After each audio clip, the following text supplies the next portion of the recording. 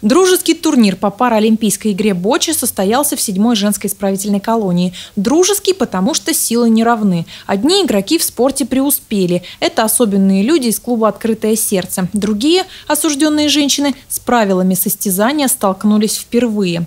Игра довольно проста. Нужно попасть шариком к главному мячу – джекболу. За шесть сетов побеждает та команда, которая наберет большее количество очков.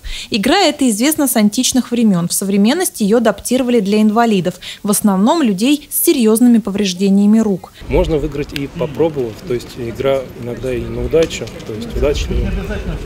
Также улыбается победа, но в процессе игры, когда имеешь большую практику игры, конечно, развивается и точность.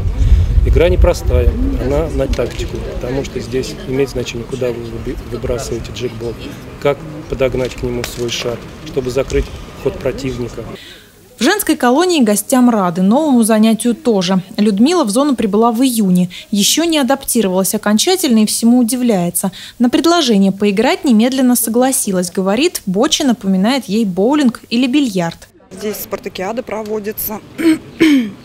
Разные виды спорта, уголки, шашки, шахматы, волейбол.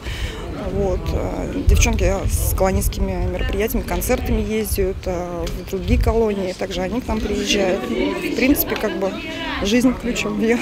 Если для гостей из клуба «Открытое сердце» игра скорее развлечение, для осужденных – серьезное соревнование. Летом в зоне проходит спартакиада. За звание лучших и самых спортивных соревнуются разные отряды. Дисциплин, по которым проходят зачеты, около десяти. Прыжки в длину с места, притягивание каната, в мужских колониях подтягивание на перекладине.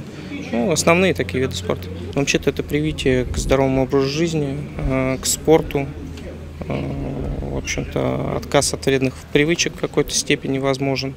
Желающих принять участие в игре было гораздо больше. Гостей в исправительных учреждениях любят. Каждая встреча с новыми людьми, рассказывают женщины, как глоток свежего воздуха. Мария Смирнова, Антон Осипов, РТВ Иванова.